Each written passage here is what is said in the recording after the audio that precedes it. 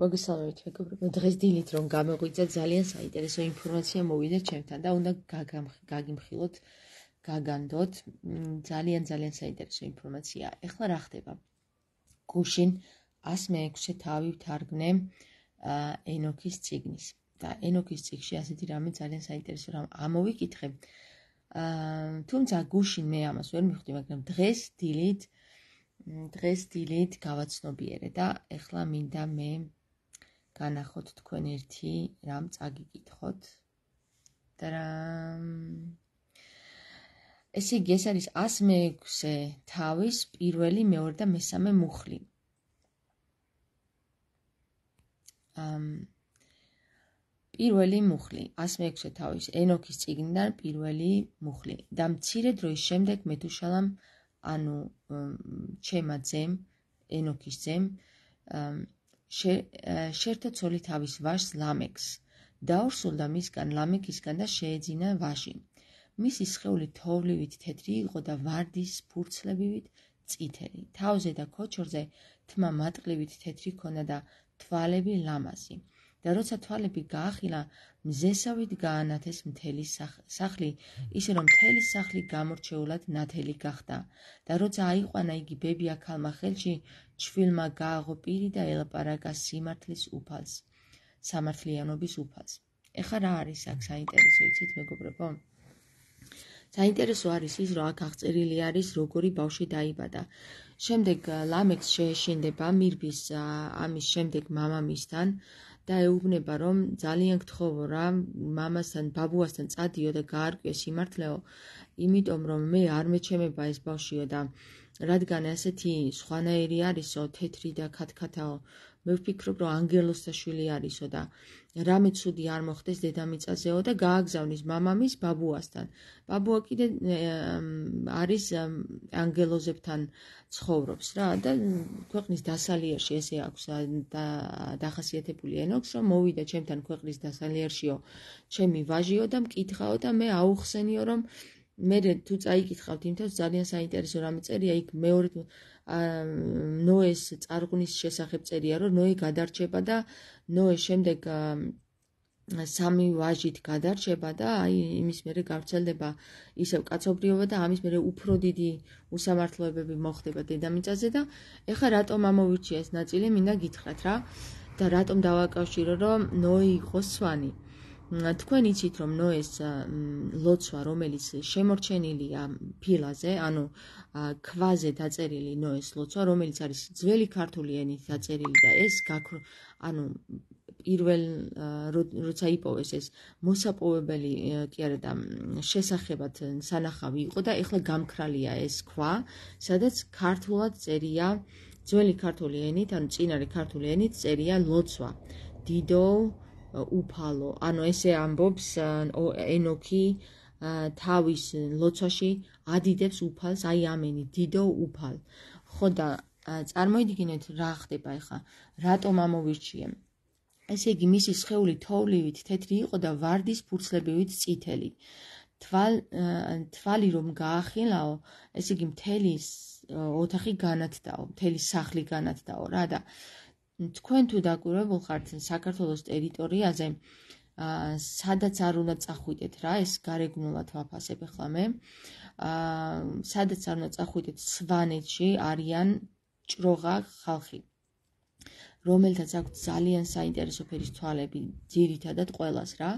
ეს არის თაფლის ფერი თვალები მწვანეში გადასული და მათი გარეგნობა არის ქერები არიან თეთრები არიან და ანუ ჭროღები არიან და განსაკუთრებულია მათი გარეგნობა. თუ დაკვირვები ხართ ახლა მე ვაკვირდები ხოლმე ეთნოგრაფიულად ხალხს რო ვინ როგორ გამოიყურება ვის როგორი სახის ფორმა აქვს თვალის ფერი აქვს თმის ფერი აქვს და ასე შემდეგ და საქმე იმაშია რომ ერთ-ერთი ჩემი მეუღლის სტუდენტი სწორედ ამ საკითხს იკვლევდა სვანებზე.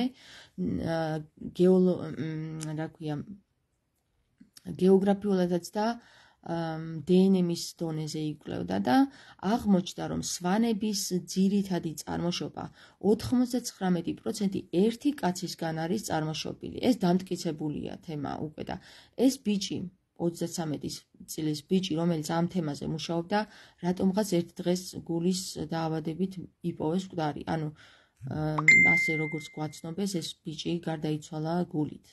მაგრამ 33 წლის ბიჭი რატომ უნდა გარდაიცვალოს გულით, ხომ? ახლა გეკითხებით თქვენ ეს ისტორიკული კითხვა არის.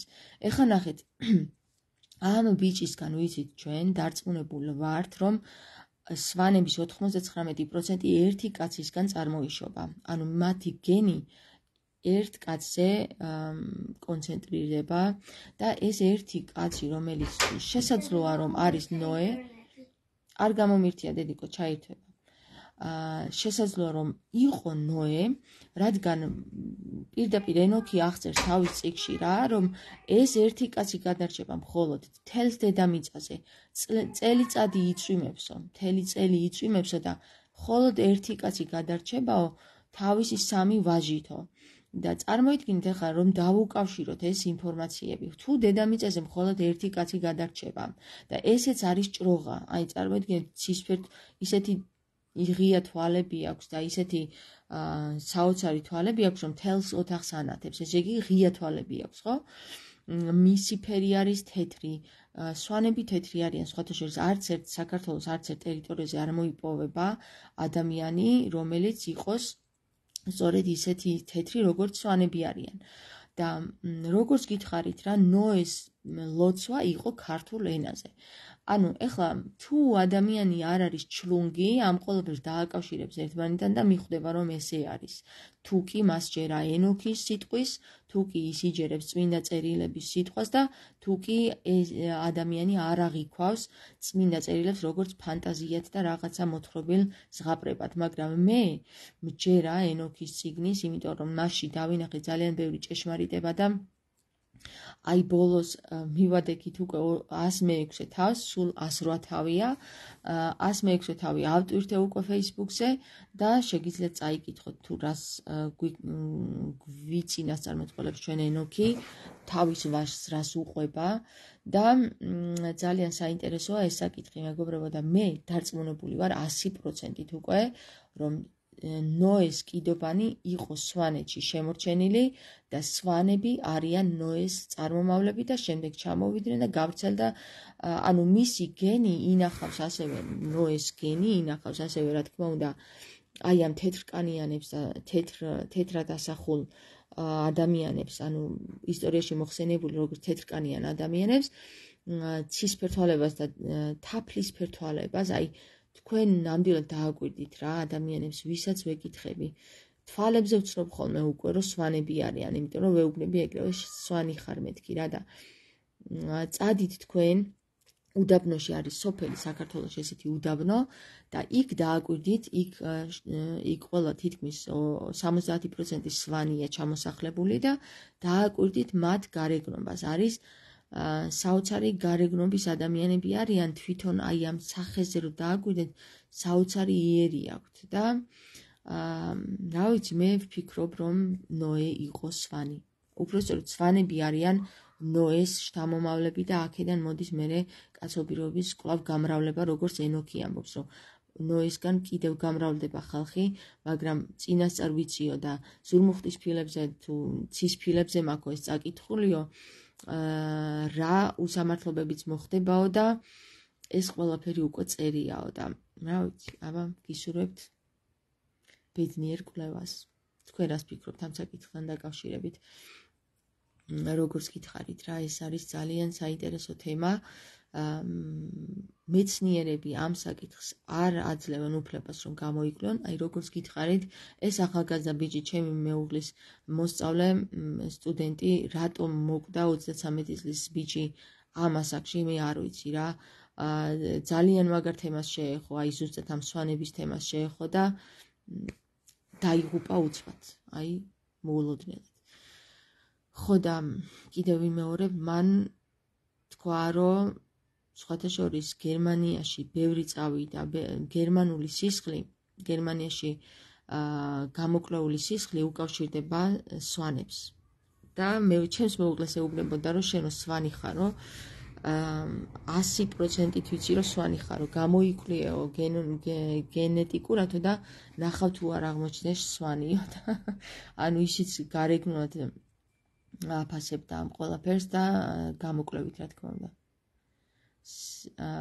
ანუ იკვლევდა კიდევაც დნმ-ის დონეზე მოკლედ არ გვაძლევენ, არ არ გვაძლევენ იმის გასახანს, რომ ჩვენ გამოვიძიოთ ჭეშმარიტება, მაგრამ ჭეშმარიტება არ იმალება მეგობრებო, ამას არ უნდა მტკიცებულება და რაღაცა ფურცელზე დაწერილი რაღაცები ეს თვალით დაინახება, ანუ თვალხილულად ჩანს ჭეშმარიტება. ასე რომ გაახილეთ თვალი ფართოდ.